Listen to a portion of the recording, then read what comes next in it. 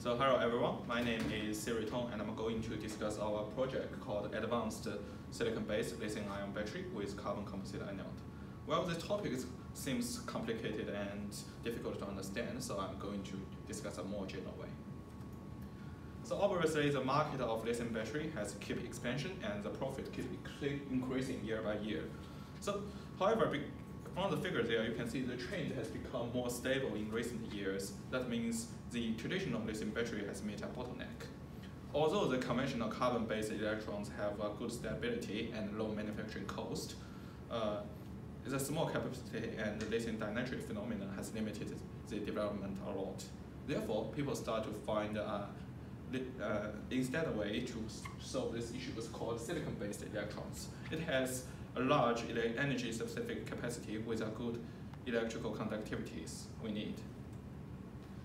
So as you can see there, the battery lithium cell we are going to design has a st structure as shown on the right side there. All these layers were encapsulated and laminated together to form the battery we need. In this project, we plan to using the composite material of the anode to optimize the performance of battery. So the silicon-based electrons have the common metal structure there and the working principle called annealing and denannealing process. So as present there, the lithium ions will combine or separate with the silicon ions to generate the, the electron transmission. So the silicate lithium silicate will have some drawbacks called valence expansion effects, which will expand the atom, atomic volume around 400%. These issues will destroy the electron issue and rapidly reduce the lifetime of the battery. In this project, we aim to solve that issue by adding some carbon nanotubes and graphene into the electrons. You may ask me why do I choose this kind of materials? That is because the carbon nanotubes could provide a good electron transmission ability and the other one could give the large material specific area we need. So compared to the expensive nanosilicate, this, these ways are more cheaper and have better me mechanical and electrochemical properties for the battery. At the meantime, it could increase the capacity. So the entire button cell were prepared in following steps. So firstly, the high purity silicon powder ball milling with the carbon nanotubes and graphite we need. Uh, after drying process, it will send to vacuum tube singletons. Uh, after that, so we choose SEM or XRD devices to check the material characterization to find which one has the best recipe we want, which we need, and ready for the later lamination and charging discharging test.